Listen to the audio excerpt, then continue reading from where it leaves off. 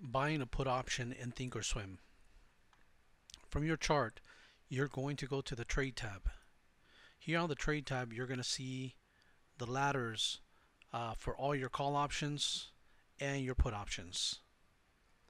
In this example, we're not going to focus on the call option. We're only going to be focusing on the put options. Here you'll see a list of the weeklies and the monthlies of when these options are due to expire.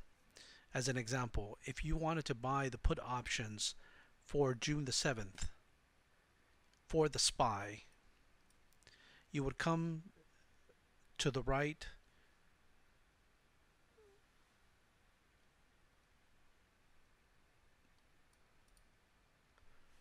table and select what option you wish to purchase.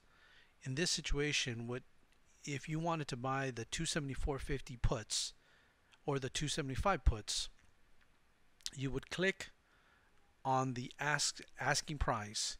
Here is going to load the order entry tools window.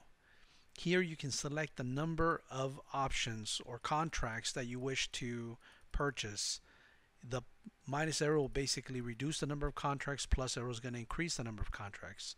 But just be careful because you want to make sure that you manage your risk properly.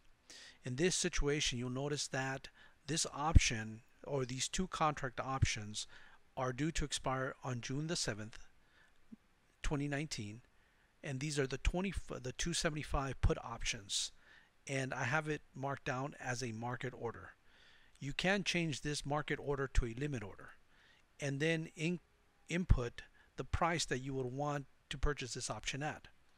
Now keep in mind the 265 meaning that for every contract is going to cost you 265 but because every contract has a total of 100 100 stocks 100 shares of stocks you're going to multiply 100 shares of stocks times 265 so that one contract is going to cost you $265 and so then for this specific option since it's two contracts when you click on confirm and send, this is going to give you the cost of those two contracts, which is going to be your which is going to be in this situation it'll be 530 plus the amount of the of the cost of the contract per contract.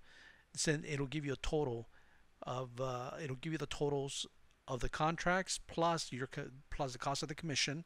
That'll give you the totals here now the nice thing about the options is that you have a limited risk.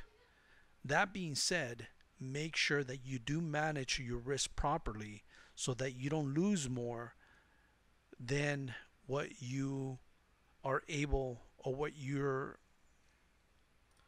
make sure that you just manage your risk.